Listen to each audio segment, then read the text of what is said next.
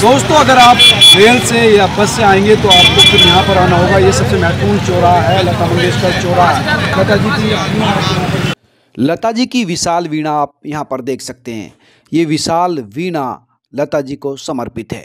ये बहुत ही खूबसूरती से बनाई गई है और ये चौराहा बहुत ही फ़ेमस है। यहाँ आने वाले तमाम लोग यहाँ पर सेल्फी लेते हैं खुद प्रधानमंत्री नरेंद्र मोदी यहाँ पर आए थे, फ़ोटो खिंचवाए थे। माँ सरस्वती की तस्वीर इस वीणा पर आपको दिखाई देगी। वीणा के नीचे पत्थर के बने हुए कमल देख रहे हैं। ये दरअसल बानवे कमल हैं, जो लता मंगेशकर जी की आयु को प्रदर्शित कर रहे हैं। बानवे साल की उम्र में उनका देहांत हो गया था। इसी वजह से बानवे कमल रखे गए हैं। बहुत ही खूबसूरती से इस चौराहे को सजाया गया है।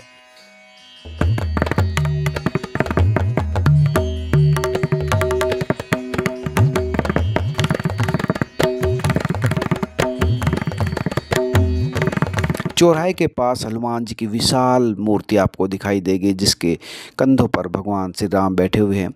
आप ये देख लीजिए, पूरा चौराहा बहुत खूबसूरती से सजाया गया है। और ये है रामपथ जो बहुत ही खूबसूरती से सजाया है। पहले वन वे हुआ करता था, अब फोर वे हो गया है।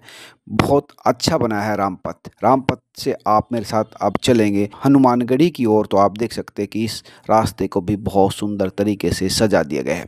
ये रास्ता लता मंगेशकर चौराहे से रामपथ की ओर जा रहा है। आप देख सकते हैं बहुत खूबसूरती से इसको सजाया गया है। ये है हनुमानगढ़ी जाने के लिए रास्ता। आप यहाँ से हनुमानगढ़ी के लिए जा सकते हैं। आप देख सकते हैं भारसी हनुमान जी का मंदिर आपको दिखाई देगा।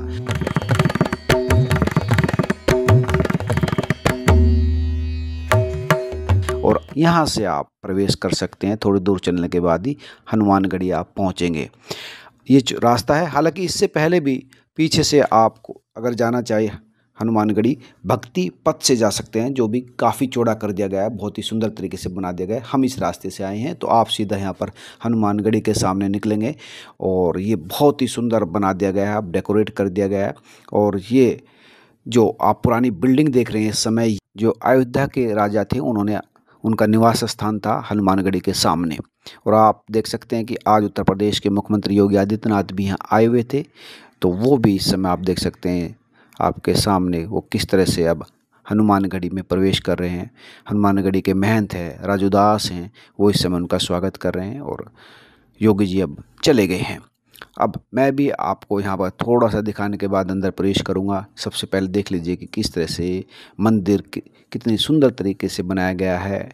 बहुत यहाँ पर जो है सुरक्षा की व्यवस्था रहती है। बाहर कई मिठाइयों की दुकान है जहाँ से आप प्रसाद ले सकते हैं। ये रजवाड़ा है।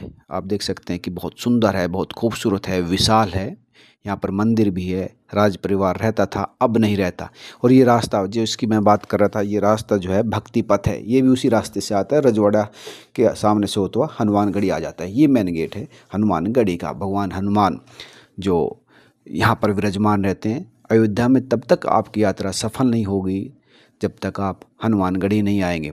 और योगी जी, ये तमाम लोग इसीलिए हनुमानगढ़ी ज़रूर आते हैं जब भी अयोध्या आते हैं।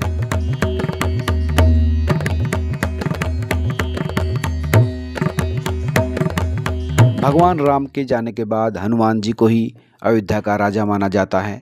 और आप भी दर्शन कर लीजिए। अब आप मेरे साथ अंदर भी चलिए और देखिए कि किस तरह से, कितनी खूबसूरत तरीके से, कितनी ऊंचाई पर है हनुमान जी का दरबार। आइए तो आप भी मेरे साथ प्रवेश कीजिए। आप आप देख सकते हैं कि भीड़ रहती है, बहुत ज़्यादा भीड़ रहती है और आप सीधा आप हनुमान जी का दर्शन कीजिए। जय श्री हनुमान जी। दो युवा पुजारी इस समय यहाँ पर आपको दिखाई दे रहे हैं। दोनों प्रसाद लेते हैं और प्रसाद रख कर वापस कर देते हैं। अपनी तरफ़ से भी कुछ प्रसाद भक्तों को देते हैं। बड़ी संख्या में भक्तों की भीड़ रहती है और इसी तरह से पूरा दिन भक्त आते रहते हैं और इसी तरह से प्रसाद का जो कार्यक्रम है, वो चलता रहता है। आप भी दर्शन कर लीजिए, भगवान जी का आशीर्वाद ले लीजिए और आप देख सकते हैं कि किस तरह से बड़ी संख्या में भक्त इस समय यहाँ पर हैं और ये प्रसाद देते हुए, लेते हुए और मन्नतें मांगते हुए यहाँ पर आपको श्रद्धालु दिखाई देंगे। बहुत खूबसूरती से बनाया गया है, आप देख लीजिए, भवन का नक्शा और भवन बहुत ही खूबसूरत है। बड़ी संख्या में आप देख लीजिए मंदिर को, मंदिर की जो चोटी है, जो मंदिर का जो भगवा कलर है, वो बहुत ही खूबसूरत बना हुआ है। नीचे जो है नक्काशी और खूबसूरती की तरह से जो है कलर किया गया है, वो आपको यहाँ पर दिखाई देगा। ये बाहर का जो है, चारों तरफ़ का मंदिर का देख सकते हैं नज़ारा है। क्योंकि योगी जी आए हैं तो अब सामान्य भक्तों के लिए बंद भी कर दिया गया था। अब आपको थोड़ा कम भीड़ दिखाई देगी। बिल्कुल मंदिर के जो हनुमान जी की मूर्ति है, उसके सामने का नज़ारा है। यहाँ पर कुछ लोग बैठते हैं, हनुमान चालीसा का पाठ करते हैं। तमाम लोग, पुलिस वाले भी हैं, बाहर से आने वाले टूरिस्ट भी हैं। यहाँ पर दीवारों पर भी हनुमान चालीसा लिखी है तो उसका पाठ यहाँ पर करते हैं। बिल्कुल भवन के सामने बैठकर, हनुमान जी की मूर्ति के सामने एक बरामदा है, वहाँ पर बैठकर हनुमान चालीसा का पाठ होता है।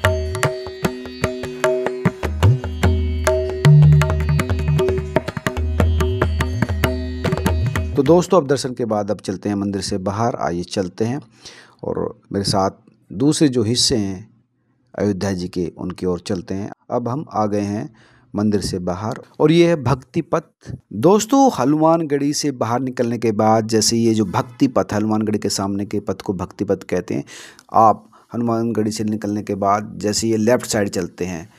काफ़ी चौड़ा रास्ता, जैसे मैंने पहले बताया था, बन चुका है। दुकानें बहुत सुंदर है, बहुत अच्छी तरह से सजाई गई है। हर दुकान पर आपको राम मंदिर से जुड़े हुए चिन्ह दिखाई देंगे। राम मंदिर का पूरी तरह से स्टेचू आपको मिलेगा यहाँ पर। इस पर लगभग 300 मीटर चलने के बाद आपको दशरथ महल दिखाई देगा। जी हाँ दशरथ महल, वही महल जहाँ पर रहकर दशरथ जी अपना राजकाज अयोध्या पर चलाया करते थे। हालाँकि हज़ारों साल की बात है कई बार महल ध्वस्त भी हो चुका है, लेकिन अब जो ये महल है, वो भी बहुत खूबसूरत है विशाल है। यहीं रहते थे चक्रवर्ती सम्राट राजा दशरथ। आप हनुमानगढ़ी से जैसे सामने आएँगे तो फिर ये महल पड़ेगा। आप देख सकते हैं कि अभी भी बुलंद दरवाजे हैं। इधर राजकोट है, जो बाद में 500 साल बाद, यानी आज से 500 साल पहले अयोध्या के जो राजा रहे थे, उन्होंने बनवाया था। और उससे रास्ते से चले जाएँगे तो आपको हनुमानगढ़ी। लेकिन ये दशरथ महल है। दशरथ महल दरअसल वो जगह है, जहाँ पर खुद श्री राम जी के पिताजी दशरथ जी रहते थे। आज भी, आप देख सकते हैं इसकी दीवारें बड़ी आ, मोटी है तकड़ी है स्ट्रॉन्ग है। हालाँकि वो सदियों पुरानी हज़ारों साल पहले की बात है। कई बार बना होगा लेकिन आप ये दरवाजे देख सकते हैं। कितना विशाल ये दशरथ महल उस समय रहा होगा। और आप इन दरवाज़ों से बाहर से अंदर आएँगे तो आपको करीब कम से कम 20-30 फुट चलने के बाद आपकी एंट्री दशरथ महल के अंदर होगी। अब यहाँ देख सकते हैं। ये दशरथ महल के अंदर आप प्रवेश कर चुके हैं लेकिन क्योंकि काल बहुत लंबा हो चुका है तो अभी उस काल की संरचनाएँ भवन इमारतें शायद आपको देखने को नहीं मिलेगी। आपको ये सारी चीज़ें यहाँ पर बहुत सारे योगी रहते हैं। आपका क्या गुरुकुल है यहाँ पर? क्या? कहाँ से आए हैं आप? गोरखपुर से। गोरखपुर से। पढ़ते हैं यहाँ पर? जी। अच्छी बात है यार राजा दशरथ के महल में आप पढ़ रहे हैं। और क्या क्या है यहाँ पर? आइए नीचे आइए। क्या नाम है आपका? तो दशरथ महल में दोस्तों क्या क्या है? आप आइए क्या नाम है आपका? शुभम पांडे मेरा नाम है। हाँ पांडे जी बताइए। जी यहाँ पे महाराज श्री सीताराम जी का सेवा होता है। दादा चलते रहिए। जी श्री सीताराम हाँ। श्री सीताराम जी का सेवा होता है। जी जी। नित्य आरती पूजन अच्छा। और साधु संत का सेवा होता है जी, जी। और गौ सेवा होता है। अच्छा। इस समय क्योंकि वो तो बहुत प्राचीन काल का होगा आज समय ये तो दरवाज़ा इस समय दिखाई दे रहा है। और क्या क्या है पुराने समय की क्या क्या चीज़ें हैं यहाँ पे जो इतने सब महल हैं सब बहुत से पुराने साल के और यहाँ पे एक संत हुए थे जो बाबा राम प्रसाद आचार्य जी के नाम से विख्यात थे। वहाँ पे इनको माता जी का स्वयं दर्शन हुआ था। माता जी मतलब? सीता जी का। सीता जी का? जानकी जी का यहाँ पे स्वयं प्राकट हुआ था। तब से यह बिंदु संप्रदाय के नाम से जाना जाता है। अच्छा। बड़ा स्थान बड़ी माता जी का नहीं सीता जी का महल उधर है कनक महल?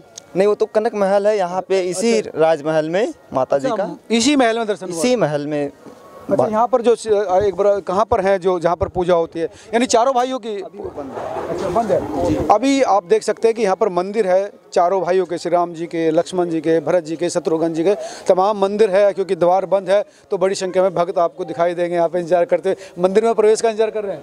हाँ हाँ हाँ। जी जी जी। वो ऐसा क्यों? कब से कहाँ से आए हैं आप? मैं पुणे से महाराष्ट्र से आया हूँ। अच्छा तो मंदिर में जाने का इंतज़ार कर रहे हैं हाँ जी हाँ जी। दशरथ जी का महल। जी। देखना चाहते हैं आप? जी जी जी। आइए अब। ये दशरथ महल है जी? एक बार आज बताएँगे थोड़ा सा।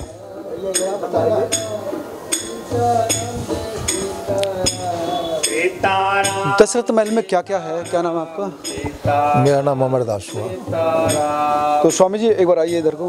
तो क्या क्या है यहाँ पर? प्राचीन काल से जुड़ी हुई भी कोई चीज़ है इस समय?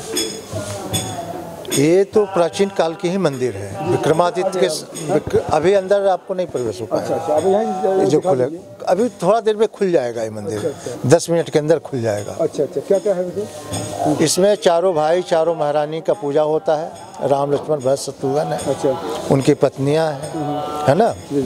और ये आपको राम प्रसादाचार्य जी जिनको कहा जाता था कि तुलसी जी के अवतार थे अच्छा। उनके द्वारा निर्मित अच्छा। तो आप रामचरित मानस में पढ़ते हैं, रुचि न जाई, बननी अंगनाई जहाँ खिलत नित चारों भाई। राम लक्ष्मण भरत सुदन इसी आँगन में खेला करते थे। अच्छा। ये प्राचीन काल का मंदिर है। यहाँ से दशरथ जी राज किया करते थे। तो ये जो मंदिर है अयोध्या का सबसे पौराणिक मंदिरों में से एक है। सबसे पुरानी जगह भी है क्योंकि खुद दशरथ जी यहीं से यहीं से हैं। और जितने मंदिरें देख रहे हैं यहाँ का दान दिया हुआ है कि आप एक देखो आप ये देखो आप ये देखो। दशरथ महल से ही निकला हुआ है।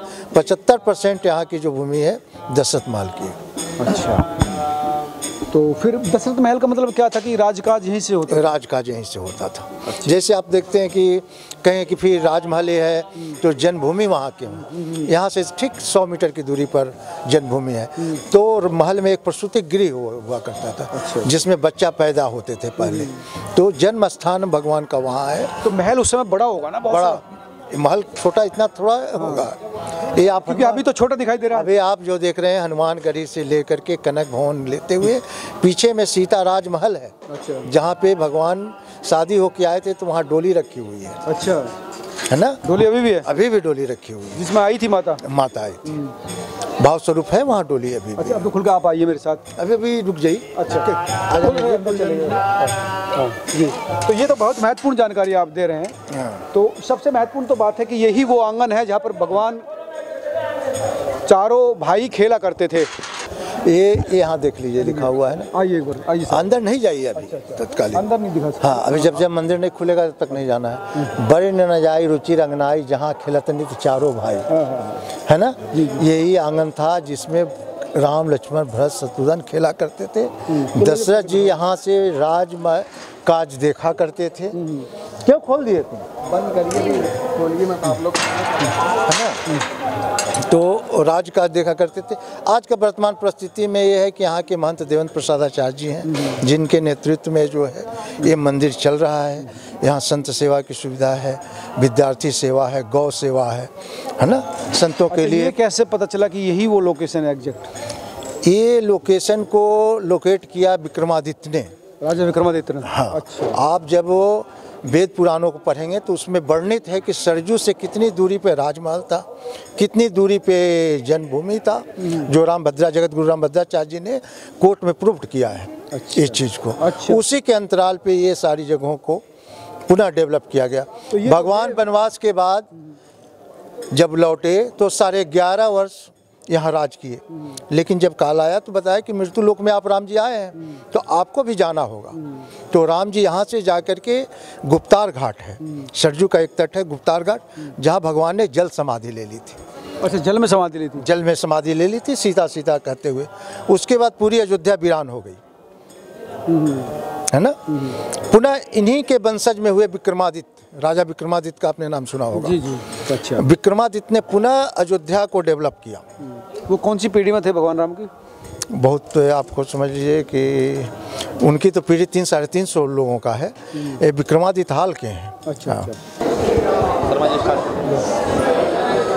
भक्तों आप देख लीजिए दशरथ महल में तमाम जो राजकुमार हैं उनकी जो है अर्धांगनी हैं वो आप देख सकते हैं इस समय।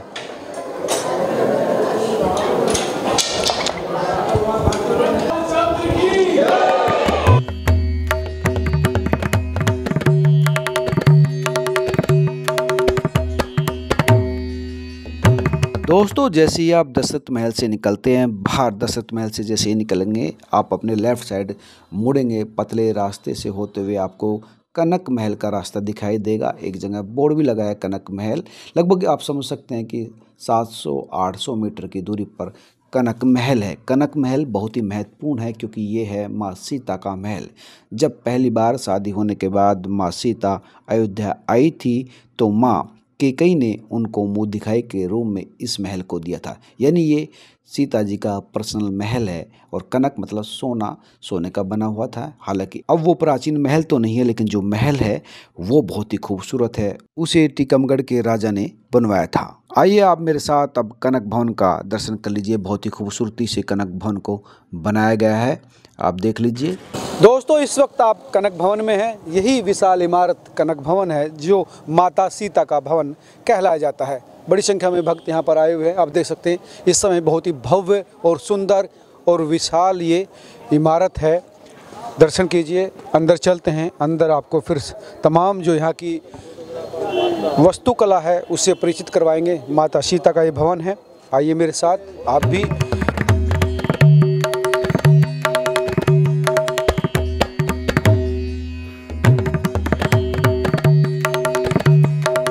चौड़ी दीवारें खूबसूरत रंग यहाँ पर आपको दिखाई देगा। यहाँ पर भगवान राम और माँ सीता दोनों विराजमान हैं। हम लोग यहाँ अयोध्या स्थित कनक भवन मंदिर में खड़े हुए हैं और यहाँ पर सीताराम प्रभु चलते चलते बात करें हाँ। सीताराम प्रभु तीन रूपों में मतलब छोटे बड़े और मझले रूप में तीन रूपों में उनकी प्रतिमा विद्यमान है। अच्छा। और कनक भवन कनक में सोता है सोना। सीता जी का जब विवाह हुआ और अयोध्या प्रथम आगमन हुआ और अच्छा। कैकई जी ने उनको मुँह दिखाई के रूप में यह स्वर्ण भवन भेंट में दिया उस था। समय सोने का था हाँ, उस समय सोने का था और इस स्वर्ण भवन को कैकई जी ने सीता जी को भेंट में दिया था और इसका नाम हुआ कनक भवन। हाँ। यह निज उनकी सास जो थी। हाँ उनकी सास जो थी कैकई जी तो उन्होंने जब भेंट में दिया या उनका निज निवास था। अभी भी विशाल बना हुआ हाँ अभी भी विशाल बना हुआ है और इसका संचालन टीकमगढ़ के जो राजा हैं अच्छा। उन्हीं के तत्वाधान में उन्हीं के ट्रस्ट के ट्रस्ट के तत्वाधान में इसका संचालन हो रहा है। अभी भी? अभी भी हो रहा अभी है। भी वही जी जी। और इसी का एक स्थान वहाँ पर ओरछा में है जो राजा राम जी के नाम से प्रख्यात है। लोगों की यह मान्यता है कि जो रानी कुंवर गणेशी बाई थी राम जी की परम उपासक थी और वह राम जी से जब आई तो उन्होंने राम जी ने बताया कि चलो मैं आपके साथ ही चलता हूँ। लेकिन सत्य यह होगी जहाँ आप पीछे मुड़कर देखेंगी वहीं मैं स्थापित हो जाऊँगा। ओरछा के जब घनघोर जंगल में जब रा, रानी गणेशी गा- बाई पहुँची तो उनको भय सा लगा कि मतलब ऐसा नहीं हमारे राम जी को कोई जानवर या कोई वैसी मतलब हिंसात्मक जीव उनको मतलब कोई क्षतिग्रस्त कर दे। इस कारण बस उन्होंने पीछे मुड़ के देखा तो जैसे ही पीछे मुड़ के देखा कि राम जी ने अपने शर्त के हिसाब से कहा मैं यहीं विराजूँगा। आज भी राजा राम ओरछा ओरछा में विराजमान हैं।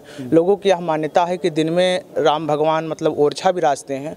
और वहाँ भी आज भी मतलब यहाँ है ओरछा में टीकमगढ़ में जो जिला में है वहाँ आज जो है डीएम हो एसडीएम हो जो भी मतलब नया पद ग्रहण करता है वह वहीं से फ़ाइल अपनी उठाता है और आज भी वहाँ तोपों की सलामी दी जाती है और आप देख सकते हैं यहाँ पर अलौकिक दर्शन। जी, अलौकिक दर्शन जी जी जी जी। जी के हैं। जी जी। दोनों विग्रह हैं बस यहाँ हाँ बस सीताराम सीताराम जी की ही विग्रह। है जी जी। सिर्फ़ इस मंदिर में सिर्फ़ सीताराम जी का जी का ही विग्रह है जी।